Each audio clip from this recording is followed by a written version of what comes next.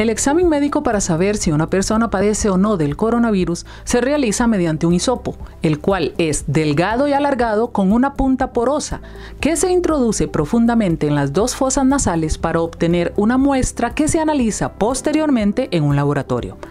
Las facultades de Ingeniería y Microbiología de la UCR trabajan una solución en conjunto con el acompañamiento de la Caja Costarricense del Seguro Social, más el apoyo de laboratorios privados para masificar la producción de los hisopos que logre diseñar la UCR.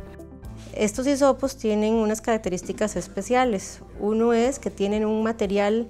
eh, especial para virus, o sea, no es cualquier hisopo, o sea, yo no puedo ir a la farmacia y comprar uno de esos hisopos de,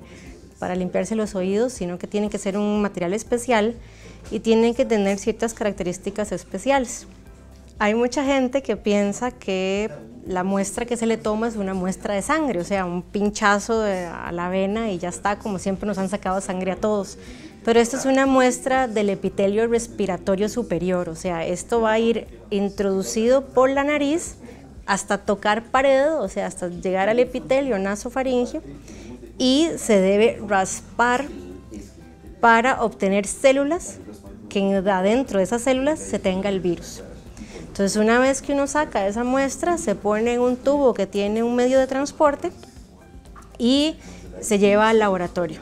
En el laboratorio esa muestra entra como una muestra biopeligrosa, o sea, es una muestra infecciosa,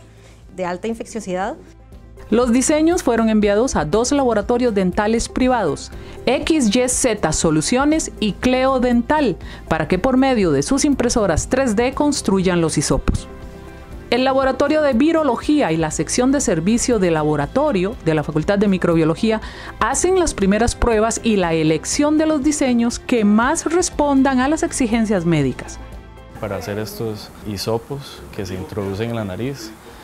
eh, empezamos a investigar, vimos noticias de una técnica que se está usando en Estados Unidos, en la Universidad de, Florida del Sur. Fueron los primeros que vimos y que es una técnica que usa impresoras de resina que usualmente están en los laboratorios dentales y se utilizan eh, con resinas que son biocompatibles, por, los cual, por lo cual puede digamos, ingresar en el cuerpo y ser eh, lo que se llama un, un dispositivo médico de clase 1